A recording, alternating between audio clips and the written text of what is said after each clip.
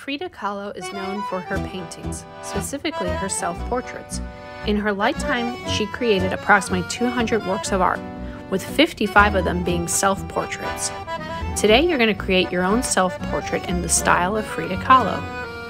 You'll need construction paper,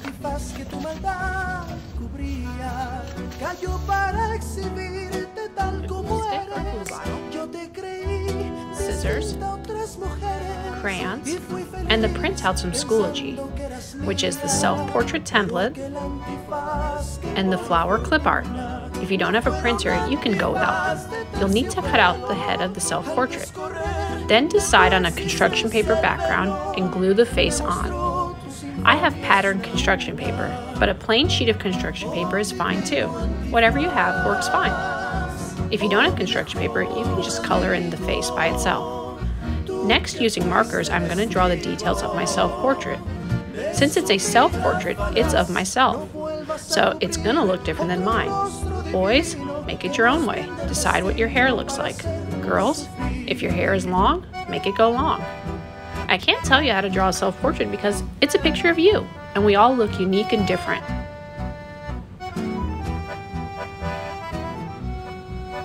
I'm using markers first. When I'm done with the markers, I'll color in with the crayon, just like we did with our last project. If you would like to use something like watercolors or colored pencils, feel free to switch out the materials.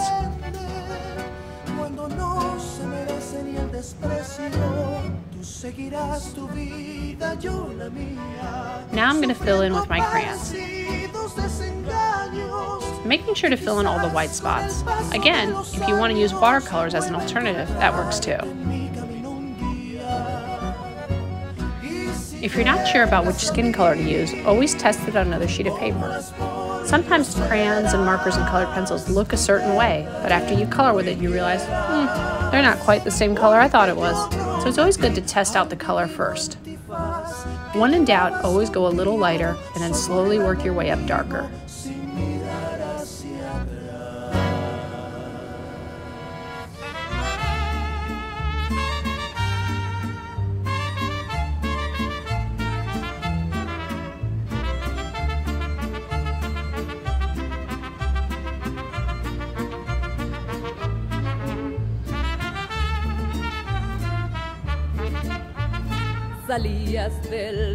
Frida often dressed in Mexican traditional clothing. So think about the type of clothing that you normally wear and how it would represent you. This is also a good chance to practice our shading. Think about underneath your neck, around the sides of your hair, and around your nose. This is typically where our face is darker. For me, I'm just picking a darker shade brown. Next, I'm going to print out my flower template. Are, these are going to be cut out and added to my portrait. I'm going to use markers to outline around the sides of the flowers.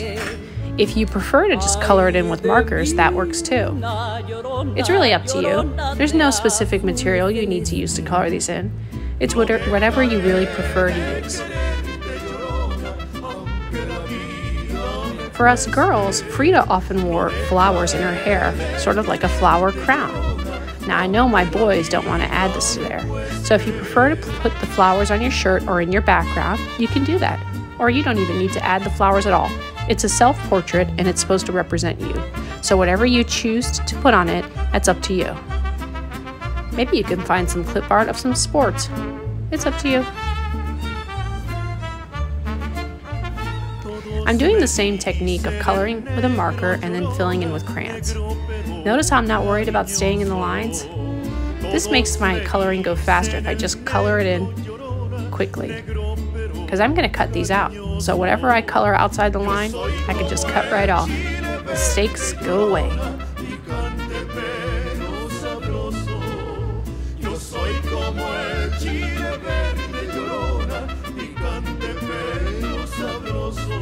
Carefully cut out each flower, trying not to cut off each petal. That can be a little tricky, but if I take my time, I can do it. Next, I'm going to arrange the flowers around my head as if it were my crown. Frida's known for wearing her flower crowns. But if you don't want to add them, you don't have to. Maybe just one flower on the side a year. Maybe they're all around your neck. Maybe they're just floating in your background.